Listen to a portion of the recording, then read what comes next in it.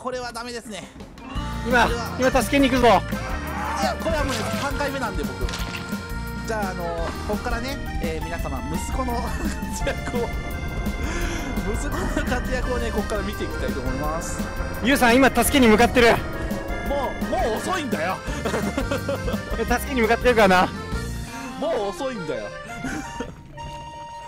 いえー、っとお前箱の中じゃねえかよ。